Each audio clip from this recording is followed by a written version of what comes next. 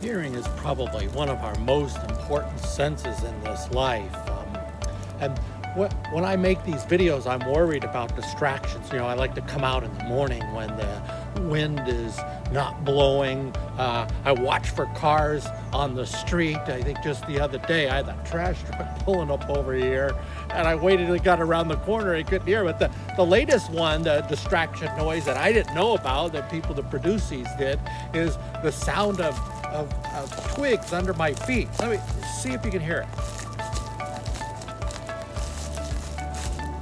kind of moving around. I didn't know there was a noise here. Well, Jesus says, you know, it is important what you hear in this life. That he says, he who has ears, let him hear.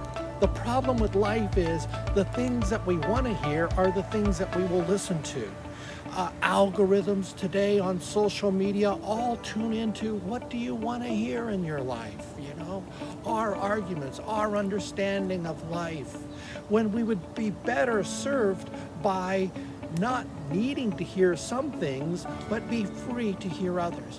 What Jesus does is that he gives us the righteousness that we need in Christ to be able to put aside ourselves and listen to others who we may not even agree with.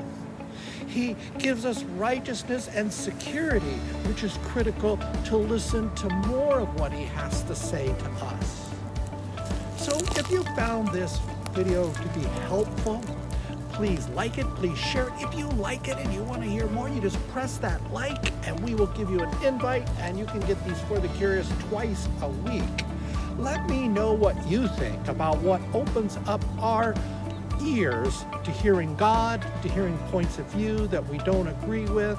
Um, put that down below in the comment section and please, as we always like to say, salam Allah fi haretika e la paz de Dios and tu viaje. Hey, God's peace on your journey. Website's right here.